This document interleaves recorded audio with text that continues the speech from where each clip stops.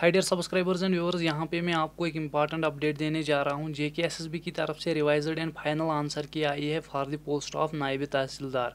आप जानते ही होंगे कि कैंडिडेट्स ने 28 अप्रैल 2018 को एग्ज़ाम्स दिए थे, उसके बाद इस पे कुछ सिटे था कोर्ट में चल रहा था। अब कोर्ट ने भी कहा है जे के एस एस बी को आप जानते ही होंगे कि go ahead for final selection ठीक है। उन्होंने जे के एस एस बी को कहा है कि आप आगे जाइए फर्दर जो आपको करना है, ठीक है, चाहे शॉर्ट लिस्ट आएगा सिलेक्शन लिस्ट आएगा, जो भी आएगा, उन्होंने कहा है कोर्ट ने आर्डर दिया है जे के एस एस बी को कि आप फर्दर जो प्रोसेस है, वो कंटिन्यू कीजिए। तो अब जे के एस एस बी की तरफ़ से रिवाइजड एंड फाइनल आंसर की आई है, आप जानते ही होंगे, जो इसकी नोटिफिकेशन नंबर है वन ऑफ़ 2015 जो डेटेड है seven four two thousand fifteen तो इन्होंने कहा है कि नियरली 112 यूनिक रिप्रेजेंटेशन हमें रिसीव हुई है, ठीक है?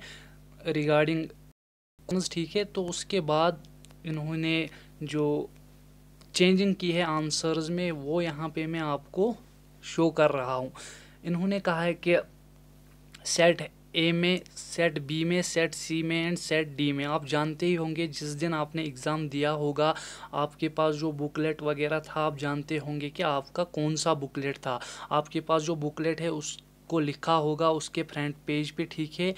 ऊपर के सेट ए था सेट बी था या सेट डी था। तो इन्होंने कहा है कि सेट ए में question number eight set B में question number seventeen set C में question number eight and set D में क्वेश्चन नंबर टू। इन्होंने कहा है कि प्रीवियस आंसर हमने बी डिक्लेयर किया था बी पार्ट डिक्लेयर किया था बट अब रिवाइज्ड आंसर डी पार्ट रहेगा। तो नेक्स्ट इन्होंने कहा है कि सेट ए में question number thirteen set B में question number nineteen set C में question number six set D में क्वेश्चन नंबर नाइनटीन तो इन्होंने कहा है कि प्रीवियस आंसर हमने इसका भी डिक्लेयर किया था इन क्वेश्चन का बी पार्ट बट अब रिवाइज्ड आंसर की में जो राइट right आंसर इन्होंने दिया है, वो है ए पार्ट और साथ ही में इन्होंने कहा है कि जो ठीक है फाइनल रिज़ल्ट आएगा शार्ट लिस्ट जो इसके बाद आएगा, ठीक है, वो अकॉर्डिंग टू रिवाइज्ड आंसर की आएगा. तो जो ये आंसर की मैं आपको शो कर रहा हूँ, जो इन्होंने अभी निकाली है, इन्होंने कहा है कि इसी आंसर की के तहत शार्ट लिस्ट अब आने वाला है।